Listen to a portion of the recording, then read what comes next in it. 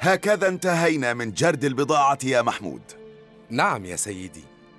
سأغيب في رحلتي سبعة أيام وتركت لك كتابا فيه كل الديون التي لنا والديون الأخرى التي علينا.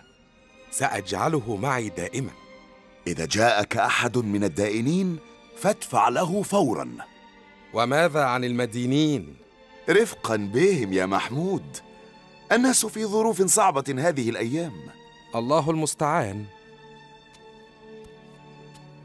آه قبل أن أرحل يجب أن تنتبه إلى شيء مهم. بعض من هذه الملابس فيه عيوب صناعة. عليك ألا تبيعه بسعر الملابس السليمة. يجب أن تنبه الزبائن إلى ذلك وتبيع الثوب المعيب بنصف ثمن السليم. حتى لو غفل الزبون عن ذلك العيب. لو غفل الزبون لن يغفل الله يا محمود. سبحانه مطلع علينا. وإذا عصيناه في تجارتنا فلن يبارك لنا فيها. اطمئن يا سيدي سأنبه الزبائن إلى الأثواب المعيبة وسأبيعها لهم بنصف الثمن إن شاءوا فتح الله عليك. السلام عليكم يا شهبندر التجار. عليكم السلام يا سيف الدولة. جئتك من سفر طويل لأحقق الحلم الجميل. أي حلم تقصد؟ البضاعة التي وعدتني أن تبيعها لي. كان موعدك معي منذ أسبوع. لقد تأخرت عني كثيرا. ولكن جاءني تاجر بالأمس وبعتها له. ولماذا لم تنتظرني؟ ظننت أنك لن تأتي. واحتجت ثمن البضاعة في صفقة أخرى ومتى الصفقة القادمة؟ بعد ستة أشهر بإذن الله وماذا أفعل في الأشهر الستة؟ إنما لدي من بضاعة لا يكفيني سوى شهر واحد فهل أغلق محلي وأبقى في بيتي منتظرا الصفقة القادمة؟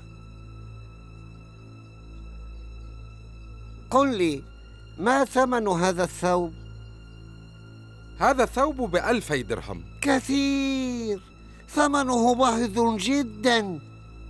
بل يستحق أكثر من ذلك. انظر إلى نسيجه ودقة صنعه. أشتريه منك بألف درهم. لا والله لا يكون. أنا ضيفك وعليك إكرامي. والقافلة سترحل بنا حالا عائدة إلى اليمن. من أجل الضيافة.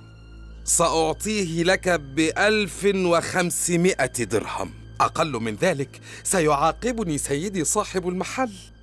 حسنا. هذه ألف وهذه خمسمائة درهم. وهذا هو الثوب. مبارك عليك. سأسرع لألحق بالقافلة. تعود سالما غانما بإذن الله. ما هذا؟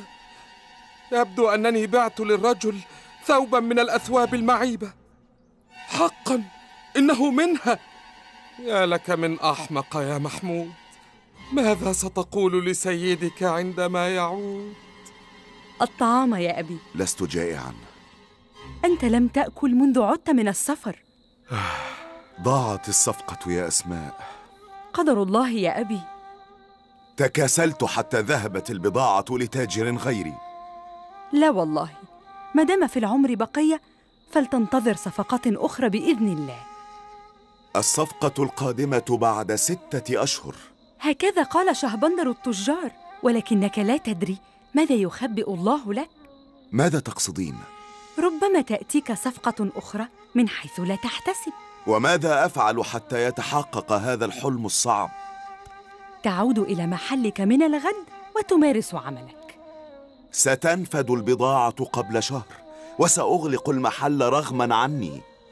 أحسن الظن بالله وتفاءل بالخير تجده إن شاء الله. ونعم بالله. أنت يا أبي الذي علمتني أن مع العسر يسرا وما اجتمع عسران على يسر واحد. معك حق. هكذا قال الله ورسوله. وصدق الله ورسوله.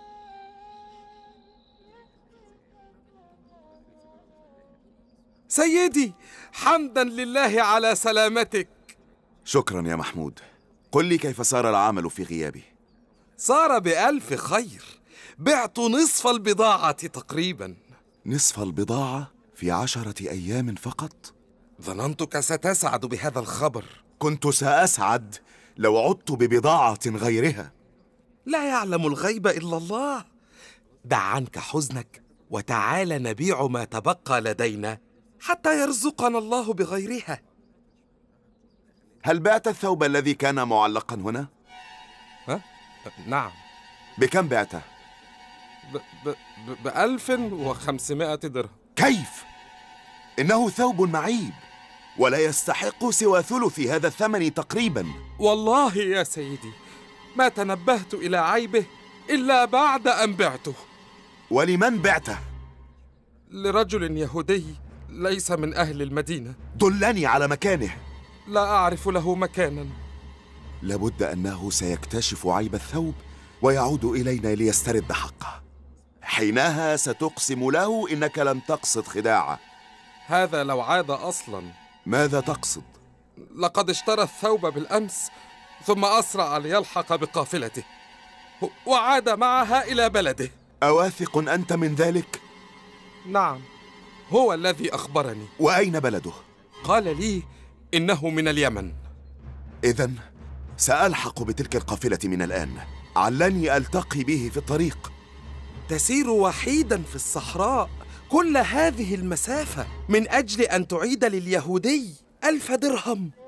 نعم لا أستطيع أن ألقى ربي وفي رقبتي ذنب بألف درهم. انطلق التاجر سيف الدولة في الصحراء يبحث عن قافلة اليهودي ليعيد إليه ماله. الجو شديد الحرارة والسفر طويل. ظل التاجر سيف الدولة على ناقته في الصحراء. كلما وجد قافلة سألها عن الرجل اليهودي فلا يجده معهم. حتى وجد في اليوم الثالث قافلة توقفت لتستريح على الطريق. السلام عليكم. مرحبا. لم يردوا بتحية الإسلام فعرف أنهم غير مسلمين. من أنت؟ أنا تاجر من الشام وأبحث عن رجل يهودي. كلنا يهود. إذا ربما أجده بينكم. من هو؟ شخص اشترى ثوبا من دكاني باعه له مساعدي قبل أن ترحل القافلة بلحظات عائدة إلى اليمن. قافلتنا عائدة فعلا إلى اليمن. حمدا لله. لم يكن يعرف مساعدي أن الثوب معيب وأريد أن أعطيه فرق السعر. يا رفاق هل بينكم من اشترى ثوبا من الشام قبل أن ترحل القافلة بلحظات؟ آه نعم أنا. بكم اشتريته؟ بألف وخمسمائة درهم. الحمد لله أني عثرت عليك أخيرا. إنه ثوب معيب وهذه ألف درهم لك فرق السعر بينه وبين الثوب السليم. ولكني لم أجد به عيبا. وكذلك مساعدي ولهذا باعه لك معتقدا أنه سليم. وهل خرجت من الشام؟ تبحث عني طيلة هذه الأيام. وتتحمل كل هذه المشقة من أجل ألف درهم. بل من أجل أن أعطيك حقك ولا أحمل ذنبك إلى يوم الحساب. والله ما رأيت أحدا في خلقك. ما الذي دفعك إلى هذا؟ ديني الإسلام. قال الله في كتابه الكريم ويل للمطففين الذين إذا اكتالوا على الناس يستوفون وإذا كالوهم أو وزنوهم يخسرون. صدق الله العظيم. ما أجمله من كلام. وقال رسول الله صلى الله عليه وسلم من غشنا فليس منا. أراك ساكتا. مد يدك وخذ نقودك.